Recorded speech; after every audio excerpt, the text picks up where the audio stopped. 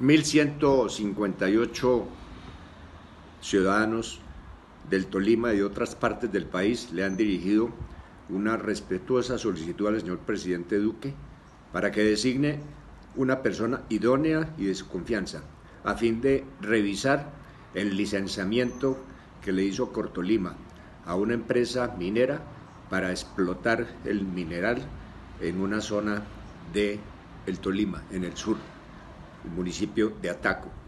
Esta es la continuación de una larga historia que comenzó en 1987, cuando la empresa Mineros de Colombia eh, quiso introducir una pala draga a fin de iniciar esa explotación de oro.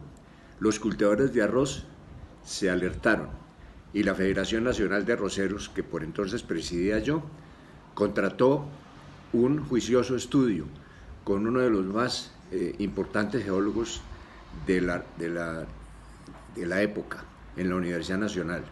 Ese estudio fue la base para que ese proyecto se suspendiera.